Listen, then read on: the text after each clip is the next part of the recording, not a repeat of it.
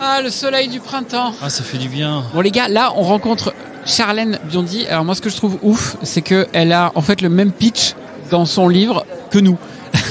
C'est-à-dire, la tech est en train de tout transformer, transformer le monde, notre vision sur le monde, et on n'en prend pas assez conscience. C'est génial. On a le même pitch, c'est ouf. Ouais, non, mais au final, euh, enfin, c'est- un peu, c'est un peu le problème, c'est que la tech, elle est tellement partout que c'est un peu comme le sucre dans le café. Elle est partout, ben elle est nulle part. Elle est diluée, la elle tech est est diluée. diluée, dans nos vies. Bah, c'est ce qu'on va essayer de décoder avec Charlène. hein. Moi, ce que j'aime beaucoup, c'est le sous-titre de son livre, Une contre-histoire du numérique. Je vais voir, on va voir si on a la même contre-histoire. Tu préférerais peut-être la République de Don Peppino Mazzini. Waouh. Crois-moi, mon petit oncle. Si nous ne nous mêlons pas de cette affaire, ils vont nous fabriquer la République en deux temps, trois mouvements. Si nous voulons que tout reste pareil, il faut que nous changions tout. J'espère que tu me comprends. French Tech, esprit critique pour tech éthique. Bonjour, quel plaisir de vous retrouver pour un nouvel épisode de Trench Tech. Salut Cyril. Salut Mick, euh, salut Thibaut. Salut Thibaut. salut Cyril, salut Mick. Vous voulez exercer votre esprit critique pour une tech éthique, vous êtes au bon endroit. Trench Tech, c'est le talk show qui décortique les impacts sociétaux de la tech sur notre société. Il faut que tout change pour que rien ne change.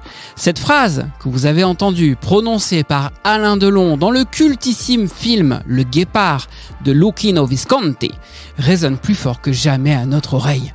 S'il n'était pas question de transformation numérique lors de la parution du livre original en 1958, cette phrase portait à elle seule la représentation du monde futur qui se substituait à celui du passé, un ordre politique en remplaçant un autre.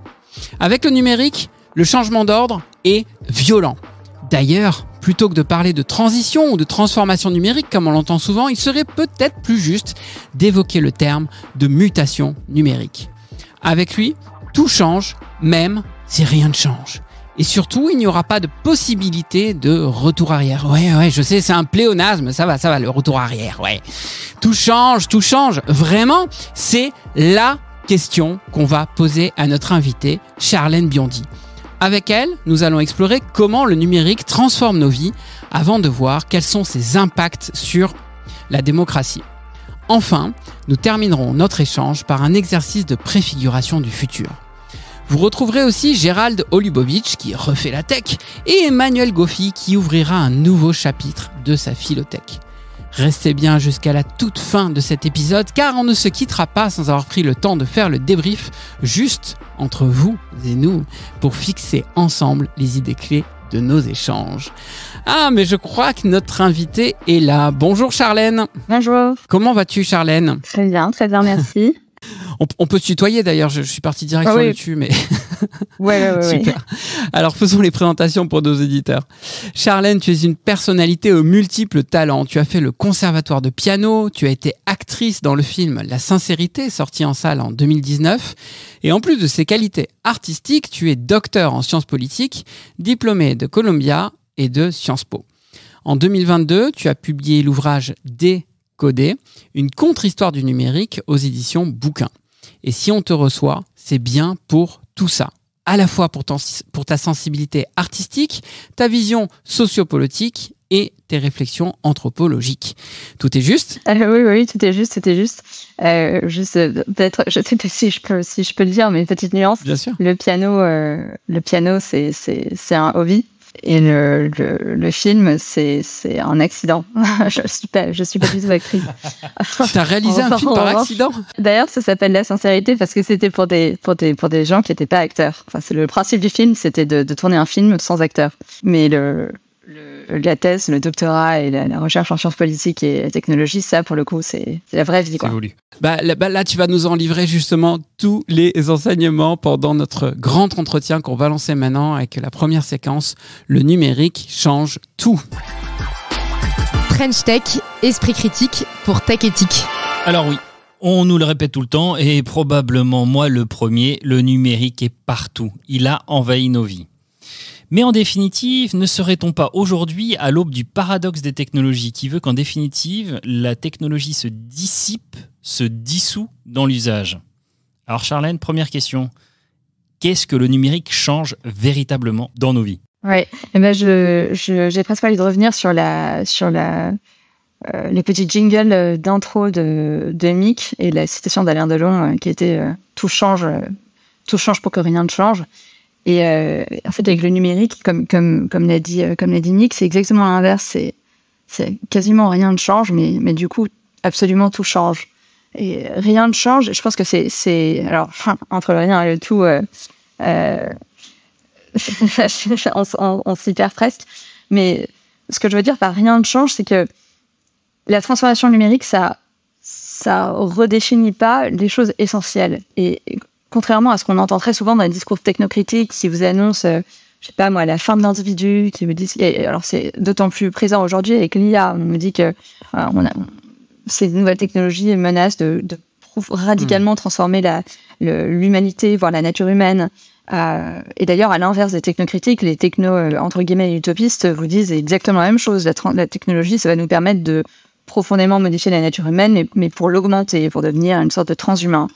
Euh, je ne crois pas à ces discours. En revanche, ce que ça change, c'est que ça change absolument euh, tout ce qu'on fait, toutes nos manières d'être, les choses, les habitudes. En gros, ce qu'on appelle les pratiques sociales.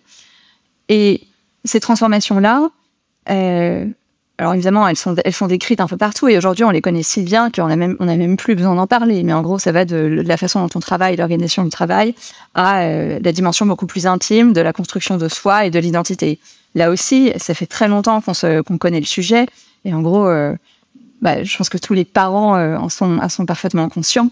Euh, mais il y a des, travaux sociologiques assez passionnants dessus sur la façon dont l'utilisation des réseaux sociaux, notamment, influence la façon dont on se construit, notamment à l'adolescence. Qu'on construit une image de soi, une compréhension de qui l'on est, de comment les autres nous perçoivent, etc. Mais aussi des, des études qui sont à cheval entre la sociologie et puis quasiment les neurosciences, qui montrent que, par exemple, quand on a un téléphone, quand on va dîner avec quelqu'un et qu'un téléphone est posé sur la table, même si on le regarde pas et Mm. qu'on n'utilise pas ces SMS, en fait, le- la qualité de la conversation est modifiée par la présence des outils technologiques. Donc, c'est justement, comme disait Mick, aussi très important de parler de, de mutation. Bon, parce moi, c'est un terme qui m'a choqué en préparant l'épisode. Je me suis vraiment dit, on peut- tout le monde parle de transformation. Je l'ai entendu dire d'ailleurs, je vous avoue que c'est pas complètement de moi, je ne sais plus qui l'a dit. Euh, mais effectivement, il serait, je crois, beaucoup plus juste de parler de mutation. C'est-à-dire, il n'y a pas de retour possible, quoi. Bah, non seulement il n'y a pas de, de retour possible, mais surtout que euh, la transformation, on a presque l'impression que c'est quelque chose qui est qui est commandé, qui est voulu, qui est qui est, c'est-à-dire qu'on on décide, euh, voilà. Alors que la mutation, euh, c'est presque quelque chose qui est de l'ordre de l'inéluctable, c'est-à-dire que ça, ça se fait, et puis surtout ça se fait sur le temps long, sans forcément qu'on s'en rende compte. C'est presque une dimension inconsciente la, la mutation. Euh, et puis aussi, c'est quelque chose de très subtil. On mute quand on quand on mute, euh, euh, c'est et presque quand on mue, on se rend pas tout de suite compte qu'on a perdu toute sa peau. C'est très progressif, mais effectivement inéluctable. Euh, et puis ces mutations-là, justement, elles ont aussi trait à, des choses qui sont encore plus essentielles pour le pour le social, comme par exemple ben, la transformation de toutes les de, toutes les habitudes. Les outils technologiques font aussi que, par exemple, on, on on accède au savoir et à la connaissance et on construit la connaissance sur le monde euh, de façon radicalement nouvelle. Aujourd'hui, c'est la façon de faire la recherche, la façon de produire des connaissances, euh, bah, euh, avec le big data, avec l'intelligence artificielle notamment, c'est plus pareil qu'il y a qu'il y a 20 ans. Et ju- justement, dans, dans ce côté mutation, il y a un, alors tu- je crois que tu l'as bien souligné, il y a un côté inéluctable de la chose. Ouais. Et quelque part, un retour arrière impossible. C'est, c'est- enfin, c'est quand même un peu dur. Il y a un petit côté défaitiste quand même dans tout ça, non? Défaitiste à, à partir du moment où on émet un jeu humain, c'est-à-dire qu'on est en train d'estimer que si les choses changent, c'est mal, ou alors Mm. ou alors que si les, les choses changent et qu'on n'en a pas parfaitement conscience immédiatement, euh, c'est problématique. Euh, mais je je pense pas qu'il faille aborder immédiatement la question de la transformation numérique sous un angle presque moral ou sous un angle de jugement. Parce que ce qui est beaucoup plus beaucoup plus intéressant, c'est de se demander euh, toutes ces micro-mutations de, de toute la façon dont on se comporte, de toutes les habitudes, de tout ce qu'on fait, de, de, de la façon dont on s'organise euh, intimement, socialement, euh, économiquement. Qu'est-ce que ça produit? Qu'est-ce qui se dessine? En gros, on est en train, avec la, la, la massification et l'adoption de, de, de, de, plus en plus de nouveaux objets technologiques, de dessiner une nouvelle forme de société, Mm. qu'il faut pas appeler une société numérique. Et la question, c'est qu'est-ce que ça implique En gros, qu'est-ce que l'ensemble de ces mutations qui donnent lieu à, potentiellement une mutation totale? Enfin, en fait, comment on l'aborde? Comment on l'appréhende cette possible mutation totale? Qui résulterait de la somme de toutes ces petites transformations Hmm. Oui, alors justement, c'est intéressant parce que bon, euh, mutation, on a beaucoup parlé de révolution euh, digitale. Enfin, on peut, on peut, on peut Oui, on peut dialoguer euh, tous les grands mots. ouais, c'est ça. Parce que in fine, ça, ça, ça procède de l'évolution naturelle d'une d'une situation, en l'occurrence que l'on s'intéresse à l'espèce humaine ou globalement à une société, quelle qu'elle soit. On a, on a connu des révolutions industrielles par le passé. Ceci en est une. Est-ce qu'elle est le prolongement de la précédente ou est-ce qu'elle est vraiment en rupture avec le reste?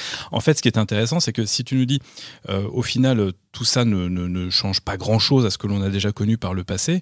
Comment on explique alors que on en fasse autant cas Est-ce qu'il y a un facteur dans cette évolution, peut-être un peu moi, je pense à l'accélération, mais qu'est-ce qui ferait à ce moment-là euh, qu'autrement, si, ça rien, s'il n'y a rien de nouveau sous le soleil, qu'on s'y intéresse autant et qu'on ait l'impression qu'il y ait autant d'impact sur nos vies au quotidien et à plus grande échelle sur l'ensemble de nos sociétés, voire de nos civilisations, de notre civilisation?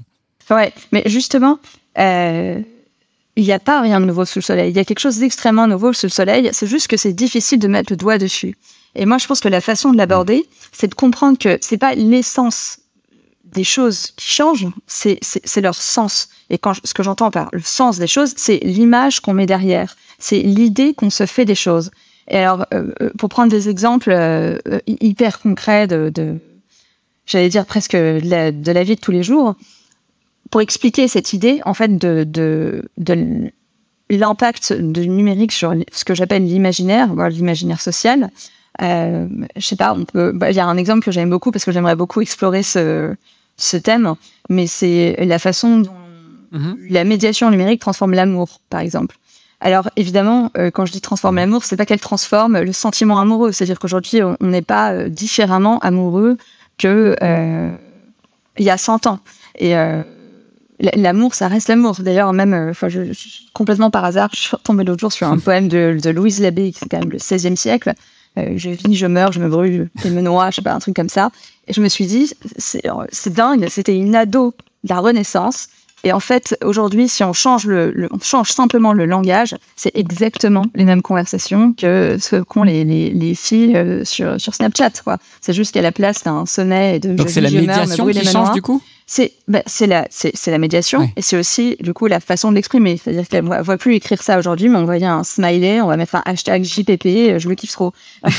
Et c'est mais l'amour la, la passion amoureuse l'espèce de, de tension qui fait qu'on a l'impression de de vivre et de mourir en pensant à quelqu'un quand on a 16 ans et qu'on est amoureux pour la première fois c'est la même chose.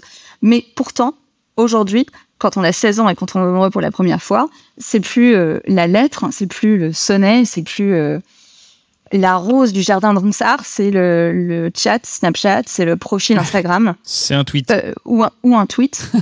et, et, et même plus tard, je veux dire même même plus tard, aujourd'hui dans la façon de de, de, de témoigner, je sais pas, euh, la, la tendresse ou Ouais. pas, mais le, le le fait que dans un couple on, on puisse s'écrire même quand on est au bout du monde juste un, un message de bonne nuit pour dire au fait je suis là, je pense à toi, Voilà, c'est un texto. Mm. Ça change, ça, ça, ça a l'air de rien du tout. Mais c'est juste que du coup, la façon dont on va se représenter, l'image qu'on va mettre derrière le terme amour quand on est né en 99 euh, ou en 2010, c- ça sera plus du tout la même chose. Mm. C'est-à-dire que l'attente va plus être la lettre ou euh, le petit copain qui attend en mobilette en bas de, en bas de chez ses parents. Ça, ça- ça va être autre chose. Pardon, on, on parle, on parle d'interface et donc de communication, de médiation, effectivement. Euh, certes, le sentiment d'amour, lui, ne change pas et euh, j'espère qu'il ne changera pas. En revanche, ça a quand même des incidences tout à fait autres. Si on prend l'exemple du Japon, euh, où euh, finalement les ados et les jeunes gens ne se rencontrent plus et tombent amoureux d'avatars et se marient avec des avatars, il y a quand même un petit changement assez radical. Et j'en reviens à ce que tu nous dis. Finalement, c'est le sens que l'on met derrière ces micro-mutations qui nous donnent une impression de transformation. Donc, qu'est-ce que tu nous dis? Tu nous dis euh, que c'est plutôt euh, la société qui a évolué dans un sens en dehors de tout épure du numérique, qui fait qu'aujourd'hui elle met un sens différent à ces usages qui sont en train de changer avec le, numérique et, avec la tech? Ou est-ce que c'est quand même malgré tout la tech qui va venir euh, dévier certaines, euh, certains de, ces concepts? Certes, l'amour reste l'amour, mais euh, il y a quand même des incidences sur la pyramide des âges au Japon par exemple. C'est les usages qui produisent du sens. C'est-à-dire que sans, transformer le concept de l'amour même, la représentation qu'on s'en fait, à cause de ces usages, fait qu'elle est différente. Et donc fait qu'aujourd'hui, on peut être euh, potentiellement être amené à aimer un avatar euh, ou, à, ou à vivre la relation amoureuse de façon radicalement différente. Et je, je pense que politiquement, structurellement, fondamentalement, l'image qu'on met derrière les choses, c'est essentiel. C'est ça qui structure une société c'est le, le, fait que quand on dit quelque chose, ça résonne et ça résonne en commun. Et aujourd'hui, et de, de, tout le temps, en évidemment, aujourd'hui, la, la, la, technoscience prévalente, enfin celle qui, celle qui a le plus d'influence sur la façon dont on, dont on façonne nos espoirs et nos imaginaires, c'est le numérique. Mais en fait, depuis le début de l'ère moderne, c'est toujours plus ou moins le progrès euh, technique et social qui a, qui a, qui a, qui a largement euh, permis de, façonner, enfin, en fait, qui, a déterminé l'horizon des possibles, ce qui était envisageable, et donc qui a, qui a, il y a toujours eu une influence de la technoscience sur ce qu'on peut imaginer, donc et donc sur ce qu'on est, sur les, les idées qu'on est capable de se faire des choses. Euh, J'ai donné l'exemple de l'amour parce que je, je, je trouve que c'est un exemple très riche, mais en fait, ce qui est, ce qui est ce qui est important, c'est que cette mutation du sens qu'on met derrière les choses, ça s'applique à absolument tout. Ça s'applique à la sphère intime et à ce qu'on va attendre de la notion d'amour, par exemple. Ça, s'applique aussi à des choses beaucoup plus banales comme euh, ce qu'on va mettre derrière l'image d'une automobile. Alors c'est un, c'est un, une, transformation euh, en cours, mais une entreprise comme Tesla qui a construit des véhicules pas seulement électriques mais des véhicules intelligents euh, et aujourd'hui, enfin, quand on quand on étudie, quand on fait une étude de cas d'un point de vue euh, stratégie euh, business de, de, Tesla, on se rend bien compte que c'est pas une entreprise qui est construite comme un constructeur automobile, mais comme une entreprise d'intelligence artificielle. Donc la valeur ah, ajoutée des la valeur ajoutée des voitures, c'est qu'elles sont connectées, qu'elles se, que le logiciel se met à jour à distance, etc., etc. Et on peut très bien, enfin, du coup, le, ce qui est en train de se dessiner, si c'est ça l'avenir du secteur automobile, c'est que derrière l'image de la voiture, très bientôt, on n'aura plus la construction à la chaîne avec laquelle on a grandi, parce qu'on a tous appris euh, le, la Ford T, euh, le Taylorisme, etc., avec le Fordisme, avec euh, avec avec les images de, de, de, ces grandes usines. On aura un, un, un data center en Silicon Valley qui qui analyse. Enfin, c'est et, c'est ça qu'on va mettre derrière. Et au final, on en revient on, en reviendrait presque euh, à euh, la représentation ou le renouveau ou la, version 3.0 de Magritte qui disait que ceci n'est pas une pipe, et ben ceci n'est pas une, euh, une voiture. Exactement. la représentation que l'on aura. que l'on aura on change de représentation, c'est pas faux. On va juste faire une petite, un passage par la chronique de Gérald Olubovitch qui revient pour nous sur l'IA. On refait la tech Alors Gérald, depuis quelques mois, l'intelligence artificielle occupe le devant de la scène médiatique en exhibant ses prouesses, mais aussi à cause des craintes qu'elle fait naître pour notre avenir. Pour beaucoup, le futur que nous promet cette tech de science-fiction est un véritable choc. Alors qu'en est-il? Eh bien oui, le choc, c'est en effet ce que provoquent les IA quand on entend ce dont elles seraient capables et surtout l'avenir qu'elles nous réservent. Il y a quelques semaines, les technologues les plus connus de la Silicon Valley réunissaient même leur voix dans une lettre ouverte pour rappeler un, moratoire sur l'entraînement des IA tant le danger semble grand pour l'humanité pêle-mêle, on parle tout de même rien de moins que de compétition et de surpassement de l'intelligence humaine, de perte massive d'emplois, de remplacement dans les domaines de la créativité des arts, de désinformation et même de perdre le contrôle de nos civilisations, des perspectives qui ont de quoi miner les plus optimistes d'entre nous. La réaction qu'on observe généralement à l'évocation de cet horizon véritablement sombre varie entre l'abattement et l'impuissance. Que faire face à ce rouleau compresseur qui semble débouler dans nos vies? On l'a dit, c'est le choc, mais peut-être pas celui auquel on pense. Attends, attends, Tu, veux dire qu'il y a plusieurs chocs? Et oui, en quelque sorte, si on observe la façon dont l'histoire se déroule sous nos yeux, certains signaux peuvent déjà nous alerter sur la nature de ce choc. Il faut prendre par exemple conscience que l'IA qui a envahi euh, nos existences est essentiellement un produit commercial. Les modèles sont devenus si larges, les besoins euh, technologiques sont si importants et les fonds nécessaires à leur financement si grands qu'aucun laboratoire de recherche publique n'est désormais en mesure de développer un chat GPT public. Il y a donc un enjeu commercial et financier derrière le déploiement de l'IA dans nos vies. OpenAI, Midjourney, Stability AI et la myriade d'entreprises moins connues qui profitent de cette hype autour de l'IA ont besoin d'imposer leurs produits sur le marché. Et c'est là qu'intervient cette seconde idée de choc. En 2007, la journaliste canadienne Mélanie Klein publiait La stratégie du choc, un livre qui montrait que l'application d'une politique économique brutale et rapide permettait d'imposer un changement profond à une société. Cette méthode, elle était inspirée de la technique de lavage de cerveau développée par la CIA d'entre les années 50 et 70 par un docteur qui s'appelait Donald Cameron.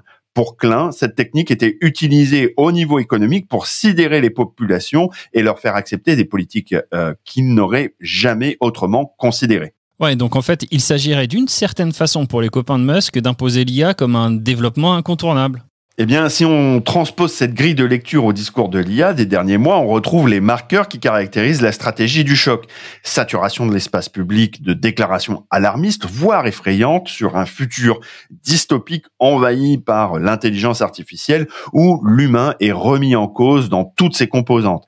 Pression intense des acteurs économiques pour imposer leurs solutions et leur cadrage idéologique. Enfin, dénigrement des alternatives possibles, des critiques et des tentatives de régulation trop fortes en convoquant les imaginaires péjoratifs comme par exemple celle des ludites ou des amiches. Conséquence, le débat change de registre et passe du rationnel à l'émotionnel. La perspective se décale vers le futur et fait oublier les effets problématiques des IA dans le présent. Exit donc les problématiques environnementales d'accès aux données, de violation de la propriété intellectuelle, de la précarisation du travail, du nudging, de la surveillance globale, de la désinformation, de la réduction de l'attention, des désordres cognitifs, en tout genre et j'en passe. Le problème sur lequel il faudrait polariser notre attention selon ces technologues, c'est l'intelligence artificielle générale, la singularité, ce moment dans le temps où Skynet Terminator prendra le contrôle du monde et anéantira l'humanité. Un discours bien pratique pour nous inviter à abandonner toute forme de vision politique au sujet de l'IA et à remettre les clés de la maison, celles de ce futur, aux seules véritables personnes capables d'en comprendre les règles, à savoir Musk, Altman, Mostake, Peter Thiel et leurs camarades californiens. Le choc est là, c'est un choc d'influence politique, idéologique et philosophique avant tout. Esprit critique pour Tech. Alors Gérald nous dit le choc est là, c'est un choc idéologique. Alors en matière d'idéologie, il faut aussi qu'on parle d'impact de la tech sur la démocratie. C'est une opinion partagée par tous. La démocratie va mal. Aïe aïe aïe aïe aïe, j'ai mal à ma démocratie. Il faut dire qu'elle est attaquée de toutes parts, à la fois par des pays qui n'ont pas les mêmes modes de vie, je pense aux ingérences russes lors des dernières élections, et au sein même de notre pays où le système semble totalement à bout de souffle, le taux de participation aux dernières élections représentant à lui, seul cette crise démocratique. Alors Charlène, je vais la jouer un petit peu Dr House. Est-ce que le numérique, c'est le symptôme ou est-ce que c'est la cause de la crise démocratique que nous connaissons actuellement? Bah, c'est les deux, évidemment. Ah bah comme dans House. Euh, c'est le c'est le symptôme euh, à plusieurs à plusieurs niveaux, euh, tous euh, assez, assez évidents.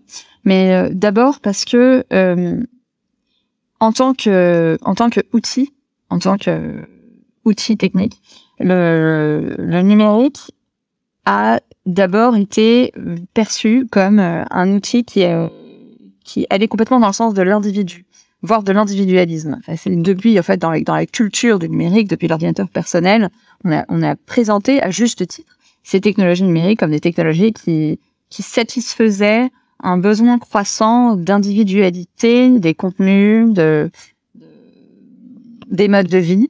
Et, Ouais. euh, et euh, Et ça ramène énormément à l'individu. On l'a vu d'ailleurs avec d'autres invités. C'est une idée qui revient assez régulièrement dans, dans, dans Tech.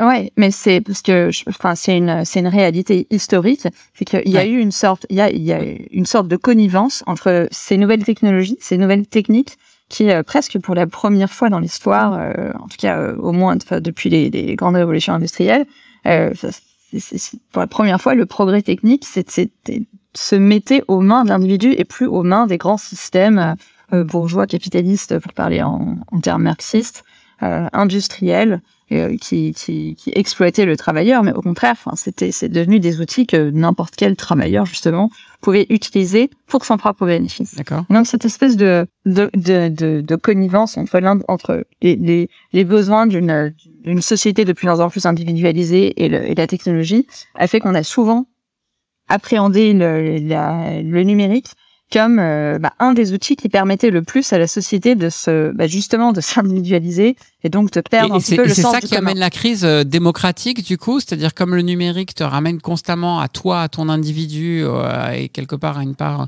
d'égocentrisme, du coup, tu t'intéresses moins à la collectivité, et donc tu t'impliques moins sur la collectivité, et donc ça crée cette crise démocratique. C'est c'est ça l'idée, le, le- le rouage qui en, qui en œuvre?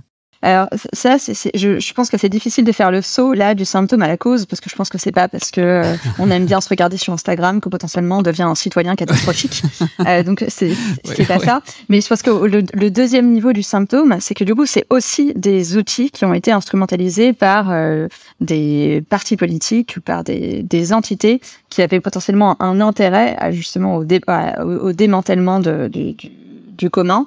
Et en fait, finalement, il y a des outils extrêmement puissants comme les réseaux sociaux euh, qui euh, sont trouvés avoir un modèle économique euh, qui a vachement, euh, qui, a, pardon, qui a beaucoup, euh, qui a, qui a beaucoup profité euh, au genre de communication, bah, notamment des partis populistes.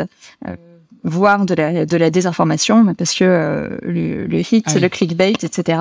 Et donc là aussi, il y a eu une sorte de connivence entre le modèle économique de, de, de certains outils, comme les réseaux sociaux, et l'intention politique de certains partis, de, certains dirigeants, voire de certains États. Mais ça, je pense que c'est, on reste, on reste là au niveau des symptômes. Si je peux juste me permettre, Charlène, j'ai une question. euh, L'histoire de la poule et de l'œuf, est-ce que c'est les politiques qui sont venus, euh, qui ont utilisé les réseaux sociaux pour justement essayer de toucher un maximum de personnes, ou c'est les réseaux sociaux et la technique qui est venue s'implanter dans le dialogue euh, démocratique? Si je regarde Cambridge Analytica, c'est plutôt l'inverse. Et si je regarde la façon dont euh, euh, Barack Obama a essayé d'aller, euh, enfin, a remporté son deuxième mandat, c'était grâce en l'occurrence aux outils numériques. Donc finalement, est-ce que c'est le numérique qui est venu euh, transformer la démocratie ou c'est la démocratie qui a exploité le numérique un peu trop? C'est, les deux. C'est-à-dire qu'à partir du moment où l'outil existe, il va être utilisé et il va être instrumentalisé dans les deux sens. C'est-à-dire que d'un côté, il y a une, euh, euh, une, une forme de, de déresponsabilisation de la part de certains, de certaines, de, de nous, du populisme, qui a toujours été le cas, où en fait dans la communication populiste, on fait des promesses absolument déco- décorrélées de la, de, de, de la réalité, et puis une fois qu'on est au pouvoir, euh, on, fait absolument tout l'inverse. En fait, le réseau social, la technologie, elle a permis à cette communication-là de, de, de, de trouver une sorte d'écho formidable. Donc en fait, le numérique, il a plus été une chambre d'écho à des phénomènes sociaux préexistants. Mais une chambre, être une chambre d'écho, c'est déjà avoir un, un, Hmm. un, un impact énorme. Ensuite, il a rendu possible de nouvelles pratiques qui ont été mises en place par Cambridge Analytica, par exemple, d'influence de l'opinion, qui sont euh, en soi euh, pas nouvelles, parce que la, la propagande et, et la manipulation hein, ont toujours existé, mais qui, euh, par le- les, les moyens techniques disponibles, ont fait que c'est devenu un phénomène euh, déjà à la portée de quasiment de, un de, facteur d'amplification, euh, Et- d'automatisation qui est fantastique en fait. C'est ça qui- Exactement. C'est ça qui, pose Et problème avec des nouvelles et l'int- et l'intelligence des données, encore une fois, avec les- les- je suis sûr que vous connaissez ça très bien à TrenchTech, mais euh, qui a permis de, de créer des profils, euh, des profils psychométriques extrêmement précis de, de, de l'électorat, fait que bah, finalement une campagne de propagande aujourd'hui, quand elle est orchestrée par une par une euh, par une entreprise d'intelligence artificielle, elle peut espérer avoir des résultats extrêmement précis et, sans doute beaucoup plus efficace euh, que par le passé. Ouais, effectivement, la propagande et la manipulation, ça a toujours existé. Tu as complètement raison. Tu, nous évoques l'utilisation de la, tech et le, je dirais le dévoiement quasiment, euh, notamment des réseaux sociaux par, euh, par certains partis, par le, populisme en général. Mais bien avant le populisme, on peut se poser la question de, du projet politique qui était derrière certains acteurs de la tech. On y fait référence assez régulièrement dans Trench Tech, notamment ces idées libertariennes qui président à la création de toutes les entreprises qui ont émergé dans la Silicon Valley, parmi les plus grandes qui sont devenues des big tech. Est-ce que le problème euh, de la démocratie euh, liée, je dirais, à la tech et au numérique ne vient pas d'abord de là, c'est-à-dire de gens qui voulaient s'affranchir des pouvoirs euh, en place euh, pour en créer d'autres euh, tu nous parles de contre euh, de contre-histoire du numérique dans ton dans ton livre. Mm. Est-ce que c'est pas ça véritablement la contre-histoire, créer une contre-culture qui finalement euh, veut tout changer pour qu'au final rien ne change, mais à son propre pour son, son propre intérêt. Ben alors, l'idée d'avoir une industrie qui a des intérêts propres, voire qui a des convictions politiques assez homogènes, ça, c'est pareil, ça a toujours été le cas et ça a toujours été un problème énorme pour la démocratie, notamment la démocratie de marché. C'est-à-dire que le, le, tout l'équilibre à trouver pour les, pour les institutions démocratiques en démocratie de marché, c'est de faire en sorte que les intérêts oligarchiques, je le mets entre guillemets, des puissants de l'industrie ne, Oui, oui. ne, ne viennent, ne viennent pas euh, dominer, voire saper le processus démocratique qui veut que, les- qui veut qu'une société est censée représenter les intérêts de, de tous et pas d'une minorité. Donc, de, de la même Et est-ce façon qu'on y arrive Parce que la- quand on voit le comportement d'Elon Musk, par exemple, mais le, comportement d'Elon Musk, c'est euh, c'est exactement ce qui s'est passé euh, au début du XXe siècle avec euh, les les- l'industrie pétrolière et qui continue d'ailleurs aujourd'hui. Enfin, la raison pour laquelle on a une crise une crise euh, une crise climatique d'une telle ampleur, c'est que c'est que le lobby industriel euh, du pétrole et, et d'ailleurs, euh, enfin pas que du pétrole, mais d'une forme de, de capitalisme euh, entre guillemets sauvage. Un peu euh, débridé. et, Ouais. et, et débridé fait qu'on en est fait, fait qu'on on vit dans les sociétés dans lesquelles on vit aujourd'hui avec la planète euh, dans, sur laquelle on vit. Et donc Musk, euh, c'est c'est pas nouveau. Alors il a peut-être des convictions politiques et le fait qu'il achète un réseau social, c'est clairement problématique. Mais c'est pas une nouveauté pour l'enjeu de la démocratie. C'est-à-dire que l'idéologie et les intérêts politiques et économiques de l'industrie, c'est un problème récurrent pour la démocratie libérale et pour les démocraties, les démocraties de marché plus particulièrement. Ça veut pas dire qu'il faut les minimiser, mais ça veut dire qu'il faut euh, l'enjeu l'en- l'enjeu politique de la tech, il se résume pas aux intérêts euh, politiques et économiques de ses dirigeants. Alors, bah, attends, justement, tu, nous parles des dirigeants, c'est un peu l'autre facette de la pièce finalement. Quel rôle du numérique dans l'exercice du pouvoir? Et surtout, est-ce que finalement nos gouvernants ont bien saisi à la fois le sens et l'essence de cette mutation numérique qui est en train d'arriver partout dans la société finalement? En fait, là où l'industrie, euh, et au-delà de l'industrie, je dirais le phénomène de transformation numérique en général pose un vrai sujet politique, c'est que aujourd'hui, l'horizon social, il est davantage défini par, d'ailleurs, vous l'avez très bien dit dans la, dans la, dans la petite chronique sur l'IA, il est davantage défini par les progrès technologiques que par l'action publique, l'action politique. Et Mm. c'est extra, c'est, ça, c'est un, ça, c'est un problème fondamental parce que en démocratie, c'est aux politiques de porter une vision de la vie bonne. C'est-à-dire, c'est, c'est, c'est, euh, c'est à la, c'est à la démocratie d'exprimer dans quelle société on veut vivre et où est-ce qu'on veut aller, euh, donc de déterminer en gros le cadre d'un- sorte de projet de vie commun. Alors qu'aujourd'hui, c'est une industrie qui est composée d'une, très petite minorité d'acteurs qui dictent la façon dont on vit.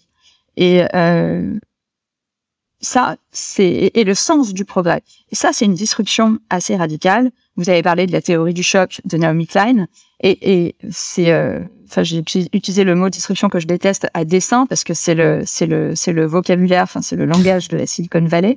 Mais c'est exactement ce qui se passe quand, euh, Mm. quand un, un nouvel outil euh, ou un nouveau software rentre dans nos vies comme Airbnb et, et défigure le, la ville, la façon dont on prend ses vacances. Euh, la façon dont on se déplace avec la micromobilité et aujourd'hui potentiellement la façon dont euh, on va travailler, on va être euh, rémunéré avec les nouveaux logiciels d'intelligence artificielle. Et même de la manière dont, on voit le monde. Je t'ai- entendu dans euh, d'autres interviews euh, par- parler de ça, de la manière dont le numérique est en train de bousculer notamment la société en elle-même, mais aussi la manière dont on voit le monde. Alors sur sa vision du monde, justement, c'est intéressant d'ouvrir un nouveau chapitre de la philothèque d'Emmanuel Goffi. De la philo, de la tech, c'est philotech. Alors Emmanuel, tu interviens dans de multiples lieux partout à travers le monde et notamment dans des écoles. Je connais aussi ton côté joueur. Et là, tu as réussi à assembler ces deux qualités pour parler de responsabilité. Exactement, il y a quelques temps, euh, j'ai dispensé avec un ami un cours sur l'IA responsable à un auditoire d'étudiants internationaux. Et pour développer leur esprit critique sur des questions éthiques, on leur propose un petit scénario sous forme de dilemme moral. Alors, je sais pas si tu connais Button Button, la nouvelle écrite par Richard Matheson en 1970, ou peut-être le film qui en a été tiré, de Box, qui a été sorti en, en 2009. Imagine que tu as des revenus modestes et qu'un matin, tu trouves un colis sur le pas de ta porte. Dans ce colis, il y a une boîte cubique surmontée d'un bouton poussoir. La règle est la suivante. Si tu appuies sur le bouton, deux choses se produisent. Premièrement, tu touches la somme de 200 000 dollars. C'était 50 000 dans la nouvelle, mais peu importe. Et deuxièmement, quelqu'un que tu ne connais pas meurt quelque part dans le monde. À partir de là, on demande aux étudiants quelle option ils choisiraient de prime abord, et ensuite on les laisse débattre des options et de leurs conséquences. Alors ce qui est intéressant, c'est que dans les deux groupes d'une trentaine de personnes chacun, à chaque fois, seuls deux ou trois d'entre elles ont choisi, ou peut-être simplement assumé, d'actionner le bouton. Mais ce qui est encore plus intéressant à mon sens, c'est l'argumentation des personnes qui ont refusé d'appuyer. Pour l'immense majorité d'entre elles, l'idée est qu'on n'a pas le droit de tuer, voire de faire du mal à quelqu'un, même quelqu'un qu'on ne connaît pas, et même si on en retire un bénéfice, en l'occurrence une somme d'argent non négligeable. Oh, ça me rappelle le fameux dilemme du tramway, ton histoire. Mais sa pertinence est souvent remise en question au motif qu'il n'expose pas une situation réaliste. Est-ce qu'on ne serait pas dans le même cas ici? Alors on peut effectivement émettre la même critique que pour le dilemme du tramway de Philippe Afout, et considérer que cette situation, elle est ridicule puisque irréaliste, et donc le dilemme est sans intérêt. Ou alors on peut considérer que ces dilemmes présentent le double intérêt de s'exercer à la réflexion éthique et d'être transposables à des situations réelles. Le dilemme du tramway, qui traite à l'origine de la question de l'avortement, un sujet bien réel, a été par exemple applicable à la question du tri des patients en période de Covid. De la même manière, le dilemme du bouton est applicable de manière très élargie à l'ensemble de nos actes liés aux technologies telles que l'IA. Et c'est là que l'interaction avec les étudiants, elle devient intéressante. Aucun d'entre eux n'était conscient que chacun de nous actionne ce bouton des dizaines, si ce n'est des centaines de fois par jour. Aucun d'entre eux, ni aucun d'entre nous d'ailleurs, n'est conscient de notre responsabilité individuelle et collective. Nous utilisons quotidiennement des outils dont nous ne mesurons pas les effets et dont nous ignorons, et parfois préférons ignorer les conséquences. C'est là que le discours sur l'IA responsable, il est redoutablement efficace et pervers, parce qu'il nous laisse à penser que la responsabilité ne nous incombe pas, mais qu'elle est portée par l'IA. En fait, c'est un moyen confortable de se décharger de nos responsabilités. Et cette expérience avec les étudiants, il faut être clair, elle n'est pas circonscrite ni à une classe, ni à une école, ni à une génération. Elle nous concerne tous et toutes. Chaque fois que nous utilisons ces technologies, il y a des conséquences et dans certains cas très négatives pour d'autres personnes dont nous ignorons tout. L'utilisation de ChatGPT, par exemple, implique l'exploitation de travailleurs kenyans pour en modérer le contenu. Euh, ou encore, l'emploi massif d'écrans implique l'exploitation d'enfants en République démocratique du Congo pour extraire le cobalt dans des conditions inhumaines. Euh, L'utilisation des réseaux sociaux a des conséquences psychologiques parfois terribles pour certaines personnes. Et ça, ce sont autant de boutons poussés par chacun et chacune d'entre nous avec des conséquences parfois tragiques. Donc, selon toi, nous poussons tous ce bouton sans même nous en rendre compte. Alors on ne s'en rend pas compte ou on préfère ne pas s'en rendre compte. Mais au final, nous actionnons quotidiennement ce bouton. Nous impactons des centaines, voire des milliers de personnes de manière négative en contrepartie de rétributions diverses, que ce soit le plaisir, l'argent, le pouvoir. Le plus terrible, c'est que dans notre ignorance et notre incapacité à questionner nos pratiques, nous n'assumons pas nos responsabilités. Et je trouve que c'est une parfaite et tragique illustration des effets catastrophiques de la mise en sommeil de notre esprit critique. French Tech, esprit critique pour tech éthique. Donc depuis tout à l'heure, on se demande si tout a changé, si rien n'a changé, comment ça a changé, et finalement, euh, eh ben, on peut aussi se poser la question du, futur. Qu'est-ce qui va continuer de changer ou de ne pas changer? Euh, Et je reviens sur ce que tu nous disais juste il y a quelques instants. Euh, finalement, euh, notre conception du monde est davantage définie et un peu drivée, si on peut dire, par nos usages de la tech et donc les entreprises qui sont derrière cette tech plutôt que le projet d'un bien commun que l'on déciderait collectivement à travers les institutions que l'on élit de manière démocratique. Alors, qu'est-ce que ça va donner tout ça dans les années à venir et comment est-ce qu'on peut se projeter, Charlène? D'un point de vue politique, je pense qu'il y a deux. euh, je, je, grossis le trait, mais il y a deux scénarios possibles. Enfin, il y a deux postures, en tout cas, euh, qu'on peut adopter face à la rapidité de la transformation. Euh, il y a la révolution et il y a ce que j'appelle la poésie. Alors, quand je parle de... Mais j'adore. Attends, tu me laisses le choix. Deux alternatives. T'as soit la révolution, soit la poésie. Mais la Certains révolution ne peut-elle pas être poétique Mais, mais exactement, Cyril, tu m'enlèves les mots de la bouche. Je pense que le Che Guevara aurait pu dire quelque chose comme ça. Je ne suis pas sûr, mais bon, admettons. Bref, donc ok, donc deux magnifiques scénarios. Explique-nous ça. Poésie, révolution. Alors, quand, quand je dis quand je dis révolution, c'est euh, je me place du je, je me place d'un point de vue euh, technophobe presque, de qui serait de dire ok là il y a une transformation qui est d'ordre existentiel pour les populations. Je parle pas forcément du fait que l'IA, les robots vont tuer les humains, mais de même que la crise Hmm. climatique devient un enjeu existentiel. Alors pour le coup, il s'agit vraiment de la survie. Mais la transformation du, numé- du numérique, elle est un enjeu, si ce n'est existentiel, au moins civilisationnel. Et quand on relie les deux, euh, numérique et, et écologie, on peut très bien se dire, en fait, stop. Il y a un moment où la question devient systémique et il faut changer de régime. Et c'est un, un- une idée qui devient euh, de plus en plus partagée. Et euh, il y a pas mal de gens qui vous disent aujourd'hui qu'ils sont prêts à aller brûler des antennes 5G parce qu'ils en ont marre. Et qu'en gros, cette société euh, qui est en train de se dessiner euh, avec les bras armés de, de, de ces outils techno, techno-industriels, bah, c'est une forme de libertarianisme, d'hyperlibéralisme, d'hypercapitalisme, d'exploitation des ressources, qui va contre tout ce qu'on tout ce qu'on peut espérer être humaniste. C'est ça. C'est un point de vue. Si on croit vraiment ça, c'est-à-dire que si on, si on est vraiment convaincu qu'en fait le progrès technologique il est porté par une industrie et par l'idéologie de cette industrie qui va contre ce qu'on veut, Mm. dans ce cas il n'y a pas d'autre solution. Enfin, il faut assumer son point de vue. Bah, et, et le, et la seule réponse, la seule réponse, c'est la révolution. C'est d'aller brûler les antennes 5G. Et du coup, si tu prends le, le- le deuxième scénario, donc comme tu le disais, le, premier est très technophobe et donc euh, une volonté de complètement rejeter la technologie finalement, euh, allant même jusqu'à brûler les antennes 5G. le, deuxième scénario serait celui donc de la poésie. Qu'est-ce que ça donnerait la poésie à l'ère du numérique? Quand je dis quand je dis poésie, euh, c'est précisément parce que je pense qu'on est à un moment de basculement où on a beaucoup de mal à saisir la transformation en jeu. Je pense que cette transformation, elle ne se limite pas, cette mutation, elle ne se limite pas à la traduction d'une idéologie euh, de l'industrie, que la mutation de nos pratiques euh, et de la façon dont on est au monde, elle porte aussi quelque chose qui va bien au-delà, qui est bien en deçà, qui est beaucoup plus subtil que bah, euh, ce qu'on appelle l'idéologie de la, Silicon Valley. Et que donc, si on veut réussir à reprendre une forme de contrôle sur cette sur ce progrès technologique, sur cette mutation sociétale, et si on veut espérer et si on espère construire une, une, société d'avenir qui soit à la fois euh, progressiste, euh, donc technophile, qui, qui prenne le progrès technique comme un des un des possibles accomplissements positifs de l'humanité, il faut imaginer quelque chose de nouveau. Et imaginer quelque chose de nouveau, quelque chose qui n'a jamais existé, c'est radical et c'est ce que fait le poète. C'est pour ça que je parle de poésie. C'est pas pour enchanter le monde Mhm. et puis euh, pour mettre euh, des, des sonnets de Louise Labbé dans le métro. Quoique, ça pourrait être sympa. Mais Charlène, Ch- Charlène, moi j'adhère complètement à ton propos. Mais comment on peut euh, imaginer que dans notre société actuelle, on puisse tous devenir euh, poètes, hein, j'en rêve, dès lors que justement le capitalisme de l'attention fait que on n'a euh, aucun moyen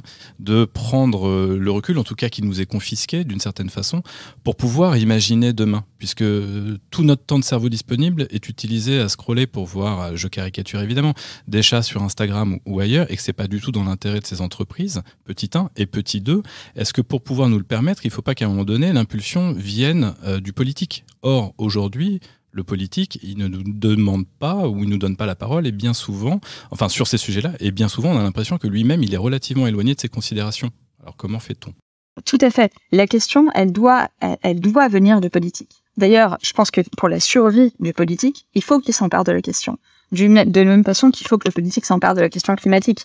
Euh, mais il y a pour la survie des régimes démocratiques, aujourd'hui, il faut se poser, il faut que le politique lui-même ose se poser des questions qui sont d'ordre systémique, qui sont aujourd'hui la société numérique dont toutes les aspirations ont potentiellement changé. Qu'est-ce qu'elle veut Quel est le régime politique qui peut répondre démocratiquement à ces nouvelles aspirations En gros, est-ce qu'il n'y a pas une façon de reconstruire le commun, de reconstruire institutionnellement le, vivre ensemble et le système politique pour qu'il n'y ait plus cette espèce de grand écart énorme entre une société numérisée qui de plus en plus voit son, imaginaire social transformé par les outils technologiques et des institutions qui, elles, restent coincées dans le passé. Ce point de, ce point de basculement qui, en fait, est euh, récurrent dans l'histoire à chaque fois qu'il y a des, des, des grands, des grandes transformations scientifiques, c'est à tout le monde, c'est très difficile de l'aborder parce que enfin, c'est difficile d'écrire l'histoire et d'imaginer l'histoire avant qu'elle arrive. Et, et c'est peut-être pas à la politique publique la plus immédiate, de, enfin c'est peut-être pas aux politiques en tant que qu'acteurs de la politique publique immédiate d'y répondre, mais c'est aux politiques en tant que visionnaires de au moins oser se poser la question. Et c'est à l'individu de le faire. Mais c'est justement la, alors une question, la question de la quête du sens, ou du moins le, pourquoi est-ce qu'on fait tout ça. Au final, j'ai l'impression qu'on est un peu enfermé dans une optique euh, qui est très euh, euh, en lien avec notre mode de fonctionnement, qui est très capitaliste final, et donc la recherche est capitaliste, Euh, et donc du coup les technologies sont là pour apporter un peu plus euh, euh, bah, de, de, de, finances, hein, on va dire ça comme ça. On n'a qu'à regarder aussi d'un point de vue politique aussi, on s'oriente vers ça avec la Startup Nation, et donc l'idée était de faire des, des startups qui sont qui ont un gain important, et même aussi cette technologie nous permet euh, d'avoir cet accès un peu plus facile à, euh, alors si ce n'est à la notoriété, au moins à cette notion de capital. Et donc au final, est-ce que on, est-ce que finalement c'est pas l'objectif de la tech qui prend le dessus sur la logique que l'on voudrait avoir, sur la poésie qu'on voudrait y mettre? Ouais, La tech en soi, elle n'a pas d'objectif. Il y a peut-être certains industriels qui en ont un, mais la tech en soi, elle a, elle a- la tech en soi, elle n'a pas d'objectif. Et la preuve, c'est que, alors oui, l'industrie est dominée par évidemment des intérêts capitalistes et financiers. C'est- indubitable parce, qu'on vit dans un monde capitaliste. Mais, mais elle peut, la tech elle-même, elle peut être instrumentalisée par des intérêts qui leur sont radicalement opposés. Et d'ailleurs, on ne cesse de le voir. Il y a plein de mouvements sociaux qui ont réussi à instrumentaliser les réseaux sociaux euh, et donc tous les outils de Musk, Zuckerberg et compagnie pour leur propre lutte. Il y a le mouvement Black Lives, Bla- Black Lives Matter, c'était quoi C'était en 2016, ça fait déjà super longtemps. Il y a MeToo, enfin, ça c'est des, des, des, des luttes sociales qui commencent par un hashtag mais qui se traduisent de façon euh, extrêmement réelle. Il y a les gilets jaunes, on est quand même dans des mouvements sociaux euh, où on voit Oui. bien que finalement n'importe quel Il outil. y avait la mais- révolte des qui- pigeons à l'époque. Mais, mais là encore, on est sur, sur l'appropriation, donc c'est-à-dire sur un usage fait Sur par l'utilisateur de ces outils, savant détourner le, le- le principe premier pour pouvoir l'utiliser. Il y a eu les printemps arabes, etc. Mais est-ce que toi, tu, euh, en creux, ce que j'ai cru comprendre dans ce que tu viens de nous dire, c'est que finalement, tu, fais partie de celles et ceux qui pensent que la technologie est neutre de fait.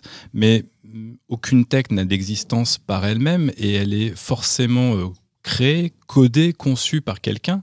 Comment peut-on penser que la tech est totalement neutre? Il y a des biais de conception, non? Alors, je dirais pas qu'elle est neutre, mais je dirais qu'elle est indéterminée. C'est-à-dire que évidemment, il y a des biais de conception qui sont énormes, et là, c'est un vrai, un vrai enjeu de politique publique, de et de réglementation et de réglementation active, euh, justement de politique publique, de dire, ok, quand on veut faire du progrès entre guillemets, il y a des règles à suivre, et puis euh, euh, ben, de la- tout- toute tech devrait être civique. C'est aberrant ait, euh, que ce soit une catégorie de start-up qu'on appelle de la civic tech, parce que enfin, ça, ça, ça devrait, ça devrait être toujours le cas. Et ça, c'est c'est aux politiques de le déterminer. De même qu'il peut interdire les entreprises polluantes. Enfin, c'est- pareil. Il y a un cadre éthique, un cadre moral dans lequel toute industrie, à laquelle toute industrie devait être soumise. C'est juste qu'on a eu du mal à comprendre à quel point les enjeux étaient euh, étaient importants pour les entreprises qui faisaient de la donnée et qui avaient l'air parfaitement abstraites.